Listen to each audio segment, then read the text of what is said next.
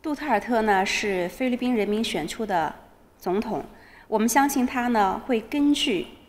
菲律宾国家和人民的利益来自主的决定菲律宾所要执行的外交政策，那么中方呢，对菲律宾